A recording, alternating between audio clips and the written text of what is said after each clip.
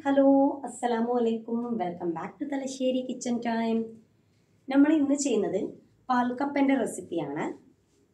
അപ്പോൾ ഇതെങ്ങനെ ചെയ്യുന്നത് നോക്കാം. അതിന് വേണ്ടിയിട്ട് ഇതാ ആദ്യം തന്നെ കപ്പയെല്ലാം ഞാൻ കട്ട് ചെയ്തിട്ട് എടുത്തിട്ടുണ്ട്. നല്ല ചെറിയ ചെറിയ പീസാക്കിയിട്ടാ കട്ട് ചെയ്തിട്ടുള്ള അപ്പോൾ ഇത് നമുക്കിനി നല്ലോണം ഒന്ന് കഴുകിയിട്ടെടുക്കാം എന്നിട്ട് നമുക്ക് ഇതൊന്ന് വേവിച്ചിട്ടെടുക്കണം ഞാനിപ്പോൾ ഇതാ കുക്കറിലാട്ടാ വേവിക്കുന്നത്. അപ്പോൾ നിങ്ങൾ സാധാരണ എങ്ങനെയാണ് കപ്പ വേവിക്കലെന്ന് വെച്ചാൽ ആ ഒരു രീതിയിൽ വേവിക്കാം. ഞാനിപ്പോൾ കുക്കറിലാണ് ചെയ്യുന്നത്. അപ്പോൾ ഇതാ കുക്കറിലേക്ക് കപ്പയെല്ലാം ഇട്ട് കൊടുത്തിട്ടുണ്ട്. എന്നിട്ട് നമുക്ക് അതിനാവശ്യമായിട്ടുള്ള വെള്ളം അതിലേക്ക് ഒഴിച്ചു കൊടുക്കാം. കപ്പ മുങ്ങിക്കിടക്കുന്ന രീതിയിൽ വെള്ളം ഒഴിച്ചു കൊടുക്കാം. പിന്നെ നമുക്കതിലേക്ക് അതിനാവശ്യമായിട്ടുള്ള ഉപ്പും കൂടി ചേർത്ത് കൊടുക്കാം. എന്നിട്ടത് നല്ലോണം തന്നെ മിക്സ് ചെയ്ത് കൊടുക്കാം. ഞാനിപ്പോൾ ഇത് രണ്ട് വിസിൽ അടുപ്പിക്കുന്നുണ്ട്. രണ്ട് വിസിലിനേക്ക് എനിക്ക് കപ്പ വെന്ത് കിട്ടിയിട്ടുണ്ട്. ഒരു മീഡിയം ഫ്ലെയിമിലിട്ടിട്ട് രണ്ട് വിസിൽ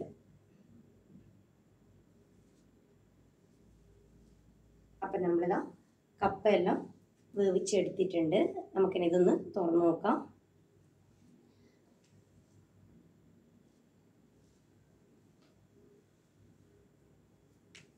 വെന്തിനോന്ന് ഡൗട്ട് ഉണ്ടെങ്കിൽ ഈ ഒരു രീതിയിൽ സ്പൂൺ വെച്ചിട്ട് ഒരു പീസ് എടുത്തിട്ട് ജസ്റ്റ് ഒന്ന് കത്തിയൊങ്ങാനും വെച്ച് ഒന്ന് കട്ട് ചെയ്ത് നോക്കിയാൽ മതി. ഇനി നമുക്ക് ഇതിലെ വെള്ളയിലൊന്ന് കളഞ്ഞിട്ടെടുക്കാം. കപ്പ മാത്രമാക്കിയിട്ട് എടുക്കാം.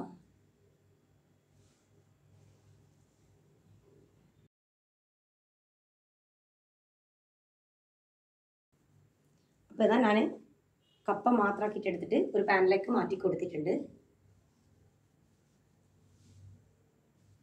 നമുക്കിതിലേക്ക് ചെറിയൊരു പീസ് ഇഞ്ചി ചതച്ചിട്ട് കുത്തിയെടുത്തിട്ട് ഇട്ട് കൊടുക്കാം പിന്നെ ഒരു നാല് ചെറിയ ഉള്ളി അതും കുത്തിയെടുത്തിട്ട് ഇതിലേക്ക് ചേർത്ത് കൊടുക്കാം. പിന്നെ ഞാനിപ്പം രണ്ട് പച്ചമുളക് എടുക്കുന്നുണ്ട്. അത്യാവശ്യം എരിവുള്ള പച്ചമുളക് കേട്ടോ. അതുകൊണ്ട് രണ്ടെണ്ണം എടുക്കുന്നുണ്ട്. രണ്ട് പച്ചമുളകും ഈ ഒരു രീതിയിൽ കുത്തിയിട്ടാട്ടോ എടുത്തിട്ടുള്ളത്. നല്ലോണം കുത്തി ചതച്ചിട്ട് അങ്ങനെ എടുത്തിട്ടുണ്ട്. അപ്പോൾ പച്ചമുളക് നിങ്ങളുടെ എരിവിനനുസരിച്ചിട്ട് ബാലൻസ് ചെയ്തിട്ട് എടുക്കാം. അപ്പോൾ ഇതെല്ലാം ഇട്ട് കൊടുത്തിട്ട് നല്ലോണം തന്നെ ഒന്ന് മിക്സ് ചെയ്ത് കൊടുക്കാം.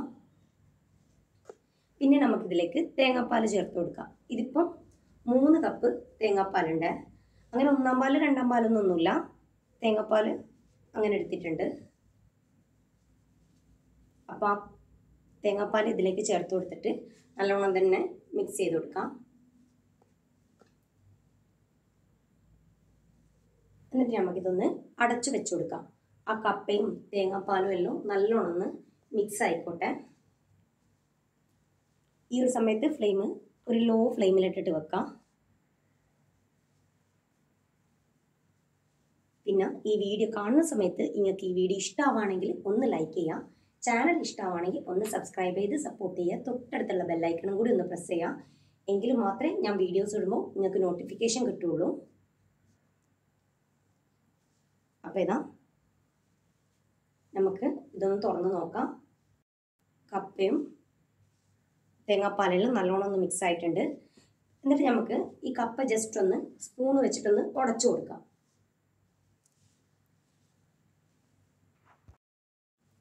അങ്ങനെ ഫുള്ളായിട്ട് ഉടച്ചിട്ട് ഫുള്ള് പേസ്റ്റ് പോലെ ആക്കി എടുക്കരുത്. ചെറിയ രീതിയിൽ ഒന്ന് ഉടച്ചു കൊടുക്കാം. അപ്പം നമുക്ക് ഇനി ഇതിലേക്ക് കാച്ചി വയ്ക്കണം അതിന് വേണ്ടിയിട്ട് ഒരു പാൻ അടുപ്പത്ത് വെച്ചിട്ടുണ്ട്. അതിലേക്ക് കുറച്ച് വെളിച്ചെണ്ണ ഒഴിച്ചു കൊടുക്കാം. വെളിച്ചെണ്ണ തന്നെ ഒഴിക്കാൻ വേണ്ടി നോക്കാം. വെളിച്ചെണ്ണ ഒന്ന് ചൂടായി വന്നു കഴിഞ്ഞാൽ അതിലേക്ക് നമുക്ക് ഒരു ടീസ്പൂണ് കടുക് ചേർത്ത് കൊടുക്കാം.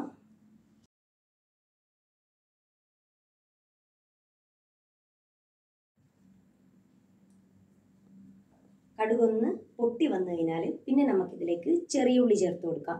ഞാനിപ്പം നാല് ചെറിയ ഉള്ളി നേരിയതായിട്ട് കട്ട് ചെയ്തിട്ടാട്ടാ ചേർത്ത് കൊടുക്കുന്നത്. ഈ ഉള്ളി ചെറുതായിട്ട് നമുക്കൊന്ന് ഫ്രൈ ആക്കി എടുക്കണം. അങ്ങനെ കരിഞ്ഞു പോവരുത്. ചെറുതായിട്ടൊന്ന് കളർ ഒന്ന് ചേഞ്ച് ആക്കി എടുക്കണം.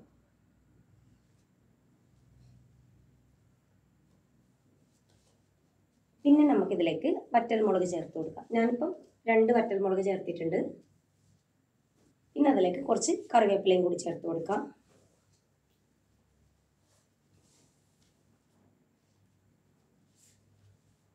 എന്നിട്ട് നമുക്കിത് നമ്മൾ റെഡിയാക്കി വെച്ച ആ കപ്പയിലേക്ക് ഒഴിച്ചു കൊടുക്കാം. എന്നിട്ട് ഇതെല്ലാം നല്ലോണം തന്നെ മിക്സ് ചെയ്ത് കൊടുക്കാം. ഇപ്പം ഞാൻ ഇതിന്റെ കൂടെ ചെയ്തിട്ടുള്ളത് ബീഫ് വരട്ടിയതാണ്. ബീഫ് വരട്ടിയതിന്റെ റെസിപ്പി ഞാൻ മുമ്പേ അപ്ലോഡ് ചെയ്തിട്ടുണ്ട്. അതുപോലെ ഞാൻ ഇതിന്റെ കൂടെ കാവയും കൂടി ഒന്ന് ചെയ്ത് നോക്കിയിട്ടുണ്ട്. ഇതിന്റെ കൂടെ കാവ കുടിക്കുന്നത് ആദ്യമായിട്ടാട്ടോ പക്ഷെ നല്ല കോമ്പിനേഷനാണ് എനിക്ക് ഭയങ്കര ഇഷ്ടമായി അപ്പോൾ അതുപോലെ ഒന്ന് ചെയ്ത് നോക്കാം. കാവന്റെ ബീഫിന്റെ എല്ലാ റെസിപ്പി ഞാൻ മുമ്പേ അപ്ലോഡ് ചെയ്തിട്ടുണ്ട്. അപ്പോൾ അത് കാണാത്തവരുണ്ടെങ്കിൽ അതൊന്ന് കണ്ടു നോക്കാം. പാൽക്കപ്പ എല്ലാവരും ഒന്ന് ട്രൈ ചെയ്ത് നോക്കാം. ഫീഡ്ബാക്ക് പറയാം. പിന്നെ ഈ വീഡിയോ ഹെൽപ്പ് ആവും എന്നുള്ളവർക്കൊന്ന് ഷെയർ ചെയ്ത് കൊടുക്കാം. അപ്പോൾ ഇൻഷാല്ല വേറെ വീഡിയോ ആയിട്ട് കാണാം.